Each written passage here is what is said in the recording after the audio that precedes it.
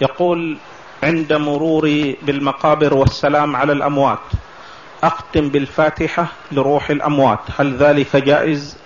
أما السلام على الأموات فهو سنة. وكان النبي صلى الله عليه وسلم إذا مر بالمقابر يسلم عليهم ويدعو لهم. هذا سنة. أما الختم بالفاتحة هذا بدعة. لا دليل عليه. والفاتحة لا تقرأ إلا للتلاوة أو في الصلاة. أما أنها تقرأ للبركة فهذا بدعة لا دليل عليه. نعم.